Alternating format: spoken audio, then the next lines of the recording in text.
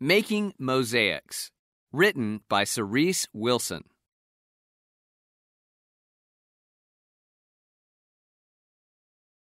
Introduction Making a mosaic is a process of putting together pieces of various materials to create unique designs. Mosaics like the one made in this book have been designed for thousands of years. The tools and supplies for making mosaics can be simple. Materials vary from the traditional tile, glass, pottery, and china to the imaginative stones, seashells, marbles, and pieces of mirror.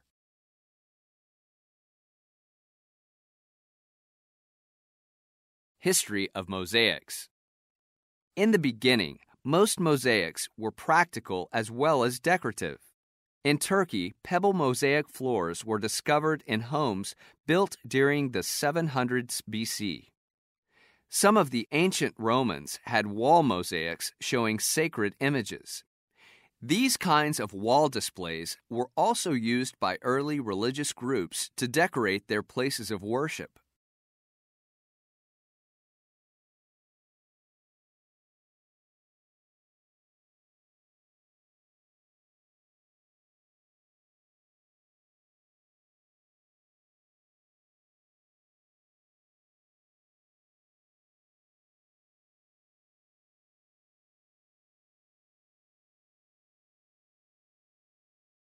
By the 1400s, mosaics were not just used for practical purposes.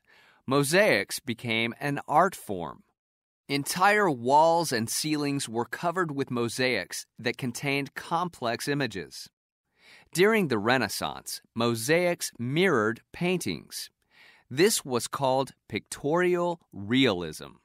In the 1700s and 1800s, artists created mosaic miniatures tiny bits of glass and ceramic used to decorate keepsake boxes, plaques, and jewelry. At the end of the 1800s, the Art Nouveau movement sparked a renewed interest in creating mosaics. Today, artists create both formal and abstract mosaic designs.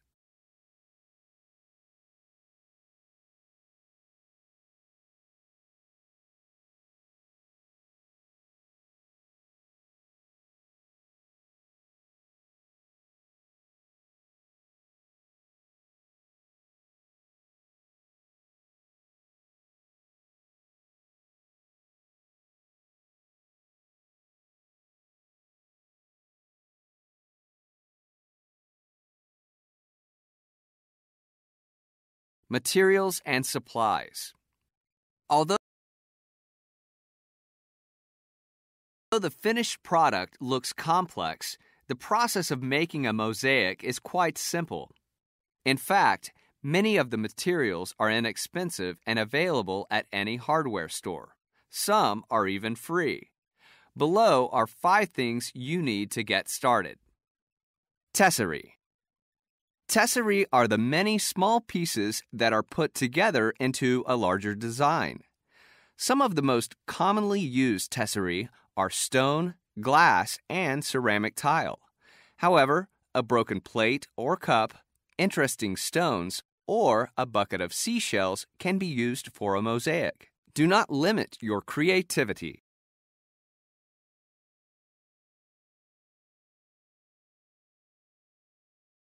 Adhesives. You will also need some kind of glue to permanently stick the pieces of your tesserae to the surface of your choosing. There are several types. One is mastic, which is latex based. Another is thinset, which is like mortar. Grout. Grout will also be needed to fill the spaces between the tesserae. All grouts contain Portland cement for strength and durability. Some are polymer enhanced for even more strength and flexibility. Use non sanded grout for filling cracks less than 1 8 inch wide, but sanded grout for larger cracks. Both types come in a variety of colors.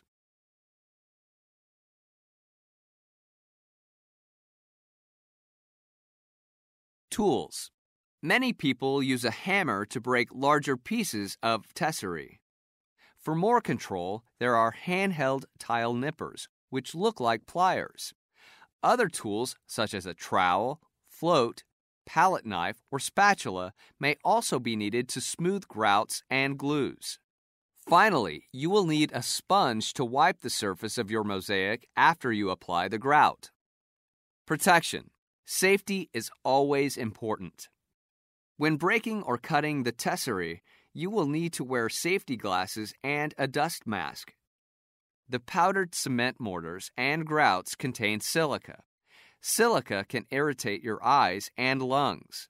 Also, latex or rubber gloves should be worn when working with grout and mortar to protect your hands.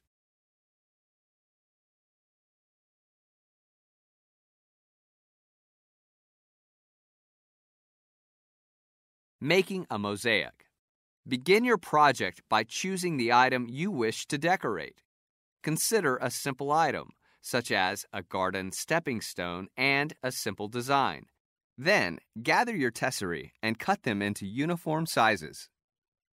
If you are using tile nippers, place the cutting jaws so that they overlap the edge of your tesserae about an eighth of an inch. Squeeze the handles firmly. To make a curved shape, try several small cuts, nibbling away slowly. If you have problems cutting your tesserae with the tile nippers, chances are you are putting too much of the material into the jaws of the nippers.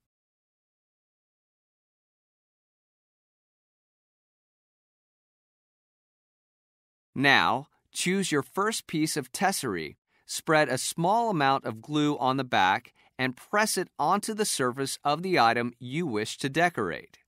Make sure not to apply too much glue. Use just enough to make sure each piece stays in place. If you apply too much, the glue will push up between the mosaic pieces. Use a palette knife or your finger to wipe away any extra glue. Follow this method until the object is covered with tesserae. When positioning pieces, be sure to leave space between them for the grout. The size and frequency of the grout influences the overall design. Stagger the cracks between pieces to avoid creating straight lines throughout your design.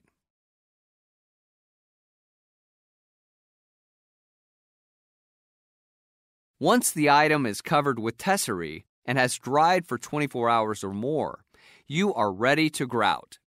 Cut off the top of a plastic gallon milk jug and use the bottom part as a mixing bowl for your grout. Start by making sure the surface of your item is wiped clean of any remaining glue. Then, wearing rubber gloves, safety glasses, and a dust mask, mix a small batch of grout, following the directions on the package.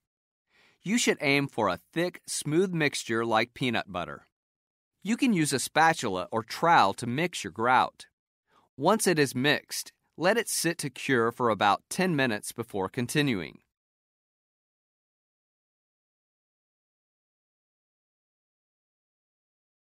Next, apply an even coating of grout to the surface.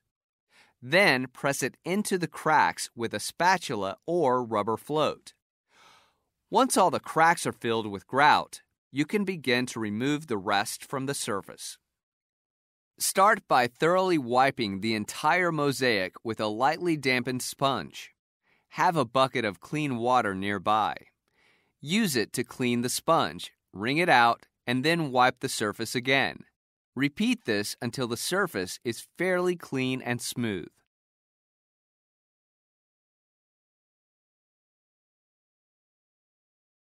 Make sure all the pieces of tesserae are visible. Sometimes the thinner pieces get buried by the grout. There may still be a haze left on the surface of the mosaic, too. This can be wiped off with a clean, soft cloth in about an hour as the grout hardens. When cleaning up, do not dump the water used to rinse the sponge down the drain. The grout can settle and harden in a drain pipe and cause future clogs. Also, when cleaning up after working with cement products such as grout, it is helpful to rinse your hands in vinegar before washing them. This will help restore the pH balance of your skin. After three days, the grout will harden completely and can be sealed.